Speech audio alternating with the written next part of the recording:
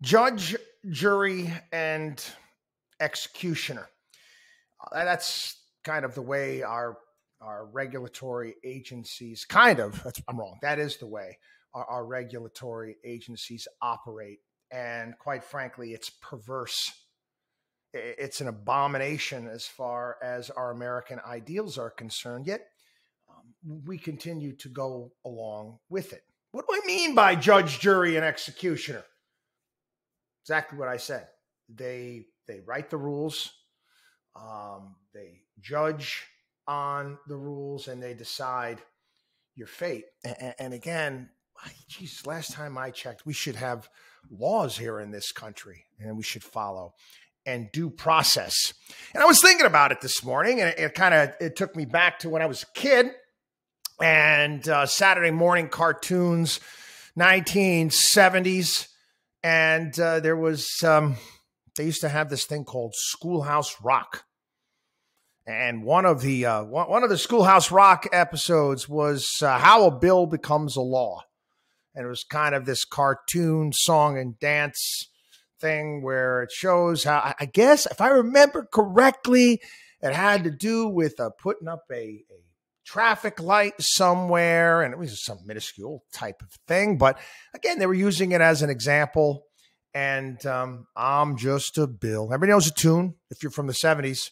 I'm just a bill, just an ordinary bill, sitting here on Capitol Hill. And basically takes you through the process and how a bill becomes a law. Well, well, it, wouldn't that be nice? Isn't that cute? Isn't that quaint? Um, we don't do that anymore. We have, um, well, Congress has decided, and they have. This is, and, and again, this is not donkey elephant. This is what it is. They've decided to outsource the legislative process. Um, I, they they much rather have hearings.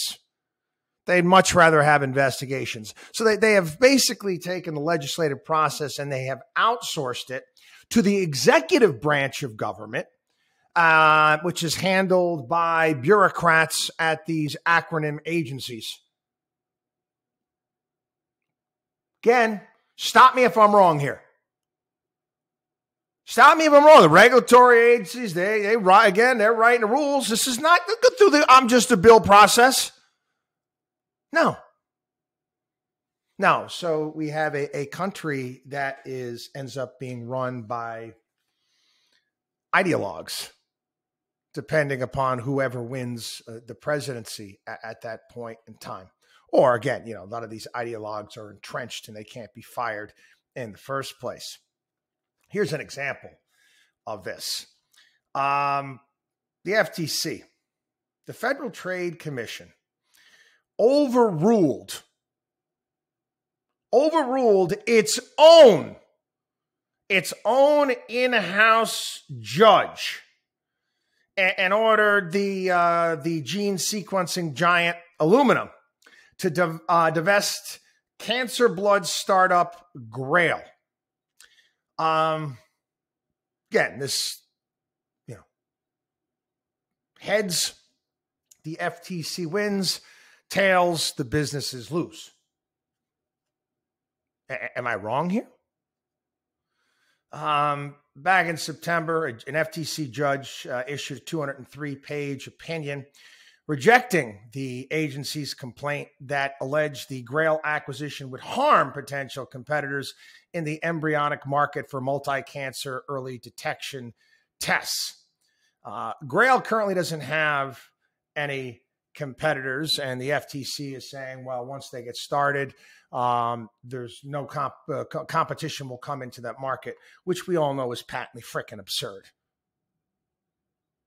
We all know that that's just absolutely ridiculous. If there's money to be made and there's a market, people will come in and look to compete. Competition breeds excellence. Basically, this is about early, early screening uh, tests that they can do. Grail claims that its test can detect 12 of the most deadly cancers with 76% accuracy and has a false positive rate of less than 1%. And right now, um, they said they think this test about $949. That's out of pocket. So, um, again, judge rules on this. Judge rules on this where he says the Clayton Act protects competition, not competitors. The antitrust theory and speculation cannot trump facts. He concluded that the FTC had failed to prove its case that Illumina had the ability and incentive to help Grail to the disadvantage of alleged rivals. Again, there's no rivals as of yet. And not to mention the fact uh, Grail was originally started by Illumina and they spun it off.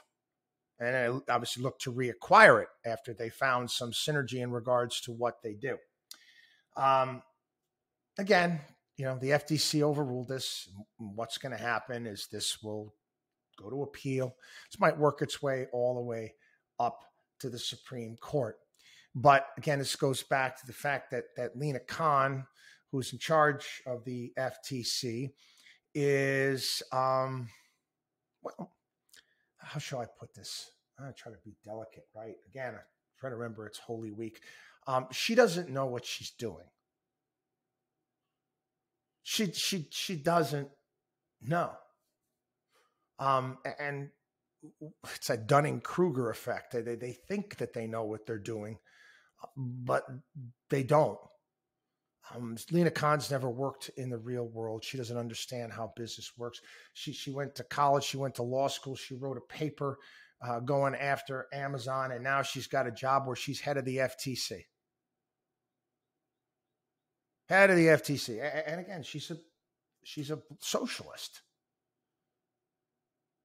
She's a socialist through and through. And every single time these agencies get taken over by these ideologues, these people that, quite frankly, have never built anything or accomplished anything in their entire lives, never had to employ anybody in their entire lives, never had to come up with a marketing plan. Um, this is what this is what you end up with, people.